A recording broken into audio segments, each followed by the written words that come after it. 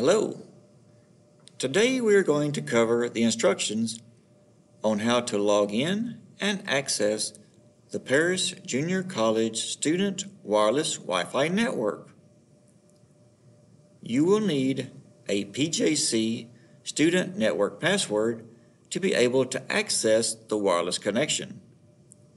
The student Wi-Fi password will be sent to your Paris Junior College Dragon Mail email address, so please check your dragons.parisjc.edu email account periodically for any changes to the Wi-Fi password.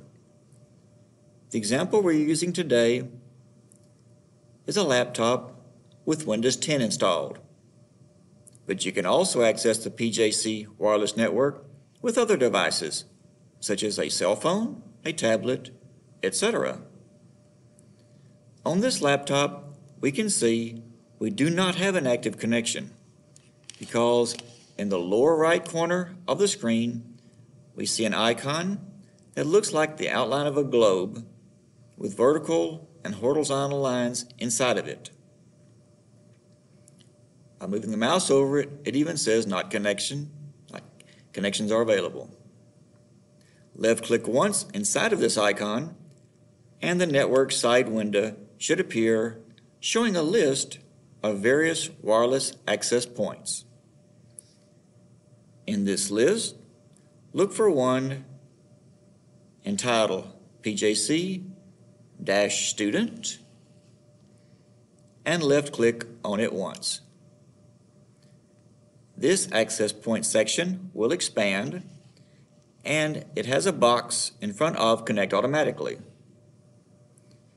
It is your choice if you want to leave this checked or unchecked. Some people find it very useful to have it checked, such as if your signal drops for a second or two, then Windows would reconnect it automatically for you. We're going to leave it checked for this example. In the lower right corner of this expanded PJC section is the Connect button. Left click on this Connect button once. The network will now ask for a network security key, which is the wireless password. This is the password that you obtain from your dragons.parisjc.edu email account. Key it in exactly as it was shown with upper and lowercase letters, the numbers, and the various special characters. Click once on the Next button. A message may appear asking if you want the PC to be discoverable, it is safer to select No. After a short period of time, a web browser should open.